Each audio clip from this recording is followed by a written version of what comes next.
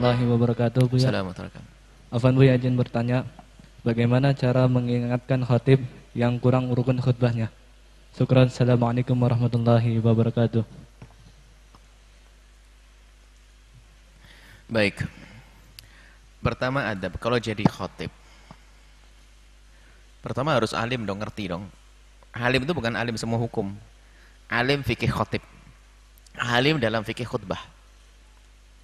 Harus seperti itu. Mengerti tentang khutbah. Memenuhi rukun-rukunnya dan sebagainya.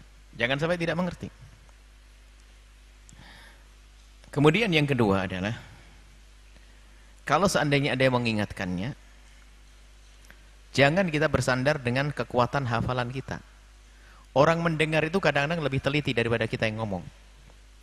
Jadi kepada siapa pun dari khotib kalau ada diingatkan oleh jamaah langsung tanggap. Misalnya jamaah kok mengirim surat bahasanya belum membaca sholat kepada Nabi. Tinggal sambil ngomong langsung berhenti Allahumma sholli ala sayyidina Muhammad sah Pak. Tidak usah, sudah tadi ngapain ribut sudah. Tinggal nambah sholat ala Muhammad. Oh belum baca alhamdulillah, tinggal alhamdulillah. Baca ayat kul wallahu ahad, selesai. Ini ini perlu juga khatib itu makanya kalau jadi khatib kok tiba-tiba ada surat mengingat ikuti peringatan itu karena nanti daripada sudah bubar tambah nggak sah mending misalnya khutbah tidak pakai wasiat takwa. Langsung aja. Ittaqullah. Sah kok selesai.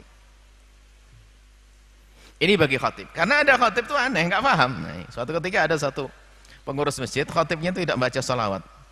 Dikirimi surat nggak paham paham surat taruh lagi.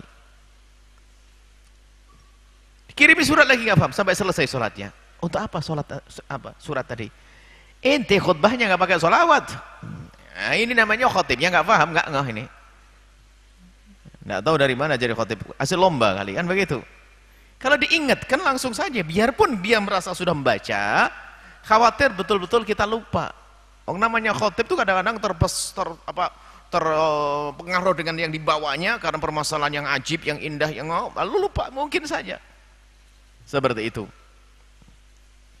Kemudian bagi yang mengingatkannya ya terus terang saja, langsung saja dengan mengirim surat dan sebagainya atau berdiri membisikkannya khotib.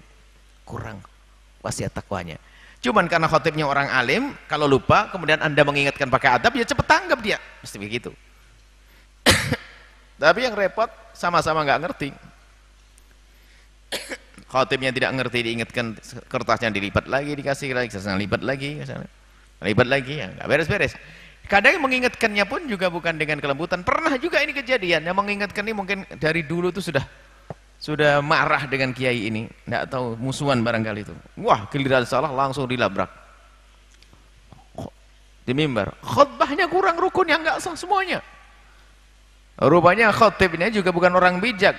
Kan seandainya kurang tinggal ngomong. Kurang yang mana tinggal ditambah. Enggak. Sudah ribut. Akhirnya betul. Dipermasalahkan sehingga harus harus didiskusikan tentang keabsahannya Allah tersebut. Waktu itu kebetulan kita datang juga. Artinya apa? Dari dua belah pihak itu harus punya adab, punya akhlak, punya tanggap. Jadi kalau mengingatkan bukan dengan kebencian. Mengingatkan adalah dengan kelembutan. Kirim surat, selesai. Kalau enggak kalau paham. Kalau enggak paham kalau enggak paham ya kalau pengen ngulang khutbah ya pendek saja saya rukun-rukunnya saja. Alhamdulillah Wassalatu wassalamu ala sayyidina Muhammad bin Abdullah. Kemudian ittaqullah. Bismillahirrahmanirrahim. Kul wallahu ahad. Allahu samad. Lam yalid wa lam yulad lam yakul lahu kufuwan ahad. Duduk. Selesai. Satu menit. Ngulang satu, setengah jam lagi nanti ya. Mau bubar nanti. Nah, kemudian jika ternyata kita ngingetkan tidak didengar-dengar nggak paham sampai sholat habis sholat bagaimana?